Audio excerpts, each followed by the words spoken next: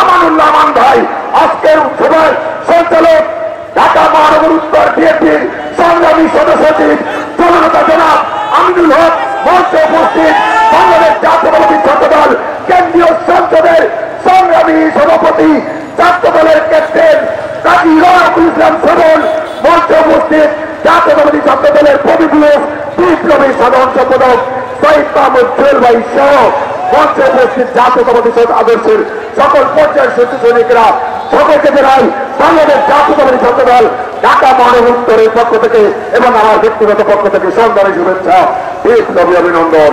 বক্তব্য দেওয়ার কিছু নাই বন্ধুরা আমার, শুধু দুটি কথা বলব। এই সরকারের ভিতরে গেছে, এই যে ছয়টি দেশে প্রটোকল নিয়ে তারা যে অবাঞ্ছিত ঘোষণা করেছে দেশের শান্তি রক্ষা ভিতরে বাংলাদেশের প্রতিটা ভোটের যে গুরুত্ব আছে। এই অবৈধ প্রধানমন্ত্রী সেই গুরুত্ব নাই। সংগ্রামী সাথে বন্ধুরা ইতিমধ্যে আপনারা দেখেছেন, আওয়ামী